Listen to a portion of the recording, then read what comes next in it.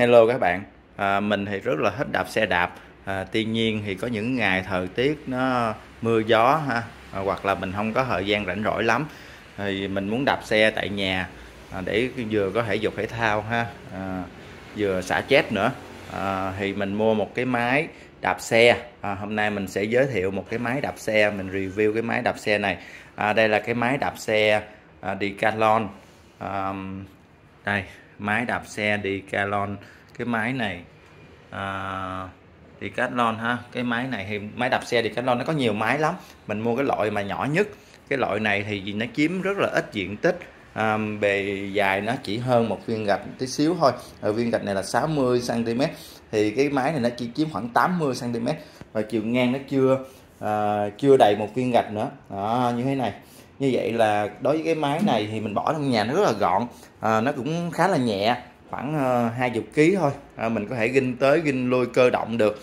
À, à, mình thì à, bình thường mình hay đạp xe bên ngoài. Đạp xe bên ngoài thì ngắm được đường xá phố à, phố xá. À, đặc biệt là ngắm được người nữa ha. À, trai xinh gái đẹp. À, tuy nhiên thì à, vì điều kiện thời tiết thì đôi lúc thì chúng ta phải đạp xe ở trong nhà à, hoặc là nhiều khi bất chợt mình đi làm về thời gian không có nhiều chỉ có 30 phút chẳng hạn thì mình nhiều khi mình đạp xe ở ngoài mình chuẩn bị đồ đạc mình đi thì nó mất thời gian thì mình mua cái máy đạp xe như thế này. À, à, cái máy đạp xe này à, thì nó à, giá nó khoảng là 4 triệu bảy mình mua ở trên Shopee ha.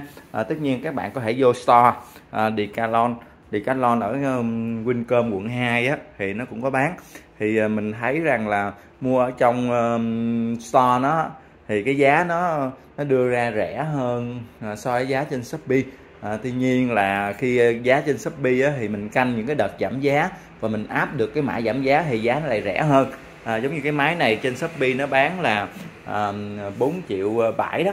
Tuy nhiên mà mình khi mình mua thì khoảng um, chưa tới 4 khoảng 4 triệu thôi. Đó, được giảm giá. À, rất là nhiều. Cái máy này rất là gọn nhẹ ha đạp rất là im. À, cái chiều ở đây nè. À, nó có các cái cái các cái độ cao khác nhau của cái yên. À, à, mình vặn ra mình kéo ra. À, nghĩa là có có thể nhiều nhiều người trong gia đình với các chiều cao khác nhau thì cũng có thể sử dụng được.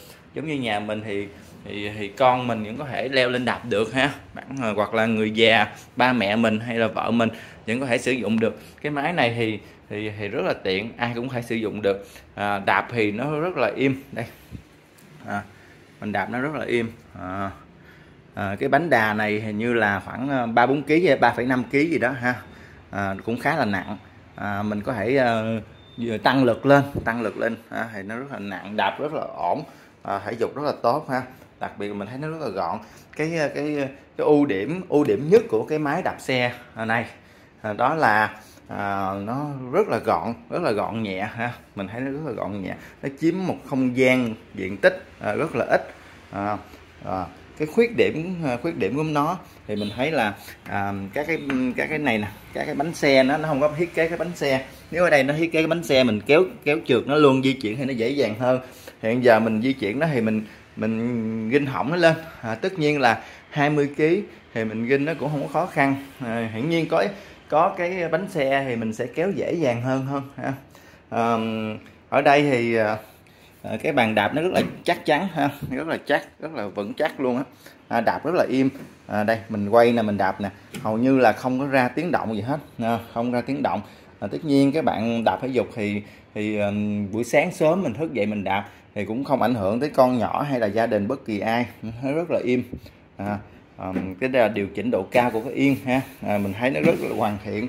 Cái độ hoàn thiện nó rất là tốt rất là chân chu trừ cái bánh này nè khi mình kéo nó thì nó có nó hay bị ruột ra thôi. À, trừ cái cái cái, cái miếng điểm cao su này. Cái này có nghĩa là mình thấy là cái dở nhất. À, à, thật ra đây nó chỉ cần à, thiết kế thêm cái bánh xe nữa và nó chắc chắn chỗ đó nữa là tuyệt vời ha. À, ở trên này nó có một cái màn hình. Một cái màn hình à, cái màn hình này thì thì ờ, chạy pin ha các bạn ha ở bên trong này mình có thể mình có thể tháo màn hình này ra kéo lên ha có thể kéo màn hình này kéo ra như thế này nè. Ở dưới này có hai cục pin ừ, hai cục pin sử dụng ờ, pin ờ, tiểu loại 3A loại 3A ha pin tiểu loại 3A rồi ừ. cái đây mình gắn vô đây. À, nó sẽ có những thông số nào? Ở đây thì nó sẽ kết nối với lại cái cái cảm biến ở phía bên dưới cái ờ, cái phần đạp ở bên dưới thì nó có thể hiển thị được cái thời gian mình đạp nè cái khoảng quãng đường mình đi nè theo số km là thời gian mình đạp theo phút giây ha và cái cái tiêu hao uh, năng lượng bao nhiêu ký calo ha các bạn ừ. cũng như là tốc độ mình đạp xe à, tốc độ mình đạp xe à, và mình ngồi lên đây thì nó um, nó rất là rất là ổn luôn đó. đây mình ngồi lên nè như thế này đó đó như thế này ừ. rất là thoải mái rất là thoải mái. À, rồi lát nữa mình sẽ đạp thử ha. Thì um, ở chỗ ngay chỗ này nè ngay cái nút vặn này là giống như là um, điều chỉnh là mình lên dốc á, xuống dốc á, lên dốc xuống dốc có nghĩa là mình điều chỉnh cái này thì nó thay đổi cái độ à, cái độ độ nặng của cái vòng mình đạp ha cái lực mình đạp. Đây là hiện giờ mình để cái mức thấp nhất nè nó cũng khá là nặng rồi. À, nếu như các bạn đạp xe đạp bình thường thường xuyên thì bạn thấy rằng là mình để cái mức thấp như này là mình đạp là nó cũng nặng hơn là mình đạp xe ở ngoài đường bình thường mình đi dạo. À, ở ngoài à, phố rồi ha. À, ở đây nếu bạn muốn tăng lên thì bạn vặn lên ha, tăng lên một nấc. Đây giống như là tương ứng là điều chỉnh cái độ dốc á. À, mình leo dốc thì nó sẽ à, nó sẽ nặng đạp hơn hả? Chỉnh tăng lên tăng lên. Tùy theo cái nhu cầu của mình tùy theo nhu cầu của mình. Thì mình thì mình muốn đạp thư giãn thôi. À, mình muốn đạp thư giãn thôi. Nên là mình để cái mức là à, thấp nhất như thế này. À, mình đạp liên tục liên tục. Thường là mình đạp liên tục khoảng chừng 15 phút là bắt đầu là mồ hôi nó ra nhảy nhả rồi. À, mình đạp chỉ cần liên tục 15 phút là mồ hôi nó rộng đầm đìa tay chân ha rồi à, à, mặt mày là mồ hôi nó rớt xuống ở dưới này bụp bụp bụp, bụp luôn. À, đạp cố gắng đạp khoảng 30 phút có nghĩa là chúng ta đã, đã có được thực hiện được cái việc là à, thể dục à, trao đổi chất. À, mình đào thải các chất à, à, à các cái chất độc ở trong người mình độc tố trong người mình ra rất là hiệu quả luôn. À, cực kỳ hiệu quả. À, mình đạp liên tục. À, à, như thế này thì nó sẽ luyện cái cơ mình đạp cái máy này thì nó nó luyện cái cơ chân mình ha. Cái chân mình rất là săn chắc à, đây ví dụ như cái bắp chân của mình như thế này là mình thấy nè à, nó săn chắc lắm. À, nó có cơ liền ở trên cái bắp này à, hầu như là không có một cái miếng à, miếng mỡ nào hết. Cái đùi mình cũng rất là thon gọn đặc biệt là các cái um, bạn trai ở Việt Nam mình thì cái cái cái chiều cao à, cái giai đoạn mà từ mình là từ 8 x trở về trước á thì chiều cao nó bị khiêm tốn à, khoảng một mét bảy hơn ha mét bảy mét bảy hai rồi. Thì nếu mà cái đùi mình nó mập nó to ra thì cảm giác là cái người mình nó bị lùn đi lùn đi rất là nhiều ha. Cái đùi mình nó to ra thì nó sẽ lùn đi rất là nhiều. À, do đó đó mình đạp à, do đó mình đạp xe này á thì sẽ giúp cái cái cái cái phần đùi cũng như là cái phần bắp chân của mình nó thon gọn nó săn chắc. Lúc đó mình bận quần áo nó sẽ rất là đẹp các bạn ha? À, tại vì bởi vì chiều cao của của người mình Việt Nam mình đó là nó khiêm tốn khoảng hơn một mét bảy thôi nên là khi đó chúng ta để cái đùi mà ta to ra thì ta thấy là sao? Nó mất cân đối. Nó nhìn người mình nó nó lùn đi mình đi thì hai cái đùi nó nó cạ vào nhau. Mình giống như mình mình đi không có có hẳn chân được vậy. Ha nó rất là à, xấu. À, đặc biệt là bận các cái quần jean à, quần tây. À, nó nó không có đúng cái cái form cái size của nó. Nó được. Tại vì nếu mình bận đúng cái form đúng cái size của nó thì lúc đó thì cái uh, cái phần phần đùi mình nó sẽ nhỏ quá mình kéo vô không được. Và nếu mình bận bận lớn sai hơn thì phần eo nó lại bự ra. Rồi cái phần ờ, chân nó lại dài đi mình phải phải cắt đỏ bỏ nữa. Nên là nó nó mình đạp xe nó rất là hiệu quả. Trong vấn đề là à, là là là giúp cơ à, cơ bắp của mình nó săn chắc là một. Thứ hai là nó thực hiện cái việc trao đổi chất. À, mình đạp nó mình ra à, mồ hôi rất là nhiều. Nó thực hiện cái việc trao đổi chất rất là tốt. Và đặc biệt là nó thêm cái nữa là nó xả chết à, mỗi lần mà mình thấy là nó rất là mệt mỏi trong người mình bực bội gì đó mình cứ leo lên xe mình đạp 30 phút ha mình ra mồ hôi nhảy nhảy xong là giống như mình được xả chết gì đó ha giống như được xả chết à, bây giờ mình sẽ đạp ha. Mình đạp mình sẽ thấy là các thông số nó hiển thị nè. Ví dụ như là đây là 2 phút ha 2 phút à, 43 à, đó. khi mình đạp thế này thì nó hiển thị thời gian đó. Ừ. mình nhấn cái này thì nó hiển thị qua là à, ừ, cái tốc độ tốc độ mình đạp. Nhấn cái nữa đây là số km mình đạp. Nhấn cái nữa là số kilo kilo calo mình đã tiêu thụ được. À, nhấn đây nữa là đây là cái thời gian ha nó như thế này. Thì thường chúng ta đặt à, ờ, cái thời gian à, để mà đỡ. Rồi mình đạp xe trong nhà mình đạp xe ngoài trời á. Mấy lần mình đạp xe ngoài trời mình có thể đạp ờ, trong vòng là à, đôi lúc là cả à, một tiếng rưỡi đồng hồ mình cảm thấy nó không có à, thời gian nó trôi rất là nhanh. À, bởi vì bên ngoài nó rất nhiều à, cái nhìn ngắm cảnh vật xung quanh. À, mình đạp mình không thấy mệt mỏi. À, đôi lúc mình đạp hai ba chục cây số mình về mình thấy rất là khỏe à, rất là nhanh. Tuy nhiên à, mình ngồi ở trên cái máy đạp xe này à, tại nhà mình đạp thì mình thấy thời gian nó trôi rất là chậm. À, để mà à, tiêu tốn giết cái thời gian thì chúng ta cứ nên mở tivi lên ha. Mở tivi lên mình đặt ở trước cái tivi mình mở tivi lên. Và lúc đó mình vừa đạp xe mình vừa coi tivi thì à, chừng hai ba bốn năm bài nhạc trôi qua là mình thấy là à, vừa được xả chết vừa vừa được giải trí à, à, và cái thời gian mình cảm giác là nó trôi qua nó không có Ờ, quá uh, chờ đợi. Còn nếu không mình ngồi đó mình ngồi mình mỏi mình nhìn vô đây mình ngồi mình đạp thì nó khá là chán ha. bây giờ mình sẽ bật tivi lên. À, mình tiếp tục đạp. À, lát nữa các bạn thấy khoảng hơn 15 phút là mồ hôi nó ra. À, rất lụp đụp luôn ha. Ừ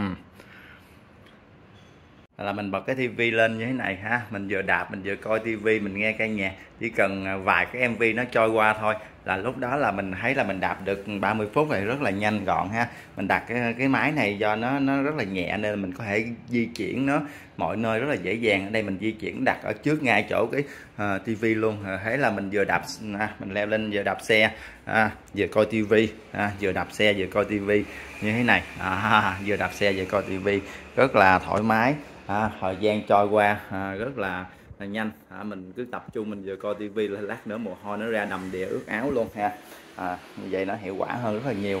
À, bây giờ mình sẽ tiếp tục coi tivi và sẵn khoảng 15 phút sau à, mình quay lại mình review cái kết quả là mình đạp xe như thế nào ha. Các bạn à, sau khoảng ba bốn bài nhạc gì đó trôi qua là mình đã đạp được hơn à, 18 phút rồi ha. Bây giờ chúng ta thấy à, mồ hôi nó ra đầm đìa luôn ha à, mình đạp cái chân nhưng mà mồ hôi tay nè ướt cả cái người luôn ha. Ướt cả cái hai cái bàn tay luôn ha, như thế này. Mồ hôi ra rất là nhiều có nghĩa là à, chúng ta hãy dục mà mồ hôi ra thì nó mới thực hiện cái việc à, trao đổi chất nó tốt ha. Và đặc biệt là nó nó xả chết nữa. Khi chúng ta mệt mỏi buồn bực gì mà ta đạp nhiều nhiều nhiều mồ hôi nó ra càng nhiều thì chúng ta thấy càng xả chết ha à, nó càng khỏe. À, ở đây nè ha à, số km mình đi được là nãy giờ là khoảng À, gần 5 km ha.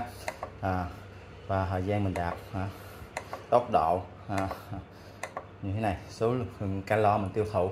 À, à, lưu ý là khi mình đạp xe trong nhà thì mình hạn chế là bật cái quạt nó thổi vô người mình bởi vì mồ hôi nó nó rất là nhiều như thế này. À, khi lúc đó cái chân lông mình nó hở ra à, và mấy cái quạt nó thổi vô nữa thì mình dễ bị lạnh dễ bị trúng nước lắm ha. À, nên lát nữa à, đạp xong à, chúng ta sẽ à, lấy một cái khăn ta lau sạch cái mồ hôi này đi và sau đó chúng ta hãy ngồi dưới quạt cho nó khô à, khoảng 15 phút sau thì chúng ta mới tắm ha. À, đây. Ừ. Các bạn thấy không? Ừ, rất là khỏe khoắn luôn. À, rất là khỏe khoắn luôn ha. Đạp mồ hôi nó ra nè nhưng các bạn nhìn hai cái cánh tay của mình nè mồ hôi nó ướt luôn ha mặc dù mình di chuyển mình đạp chân như thế này thôi bây giờ là mình đang đạp ở mức uh, rất là nhẹ bình thường nhất hay nhẹ nhất nhưng mà chỉ cần hơn hiện giờ là 20 phút sau 20 phút là mồ hôi đầm đìa mình cố gắng duy trì ha. mỗi lần đạp khoảng 30 phút ha. mỗi lần đạp khoảng 30 phút thì mình rất là khỏe khoắn ha. thế này à, à, đây là một cái giải pháp các bạn ha à, cái máy đạp xe hmm Ừ, cái máy đạp xe trong nhà à, là một cái giải pháp à, rất là hiệu quả à, để mình thể dục hàng ngày à, thể dục hàng ngày dành cho những người bận rộn à, nên nó không quá nặng nề à, chúng ta cũng không phải làm gì nó quá nặng nề cũng leo lên đạp thôi. Là nó ra mồ hôi trao đổi chất à, chân tay chúng ta được săn chắc à, rất là hiệu quả à, cộng thêm nữa là chúng ta mỗi ngày chịu khó hết đớt khoảng à, 25 20 tới lại là khoảng 50 cái nữa là cơ thể các bạn là khá ổn rồi không cần phải đi gym gì đâu. Bản thân mình bốn mươi mấy tuổi rồi mình tới giờ này mình không có bị mập đơn giản là mình cũng hay đạp xe. À, chẳng có làm gì khác. Ừ. đây. Hiệu quả các bạn ha. À, máy đạp xe. À, đơm đơm Joss này ha. À, của hàng Decathlon. Ừ đây là cái phiên bản nó có nhiều phiên bản Decathlon nó có nhiều phiên bản máy đạp xe lắm. Tuy nhiên cái phiên bản này là gọn nhất rẻ tiền nhất ha. Ừ. rồi. À, các bạn có mua à, có hết mua hết trải nghiệm gì đó thì cứ trải nghiệm ha. Theo mình thấy là nó rất là đáng giá. À, giá nó rất là rẻ. Lúc trước mình có mua một cái máy đập máy chạy bộ thì nó chiếm diện tích hơn à, tốn tiền hơn mười mấy triệu lận. Tuy nhiên mình thấy nó sử dụng ở trong nhà không hiệu quả bằng cái máy đập xe này.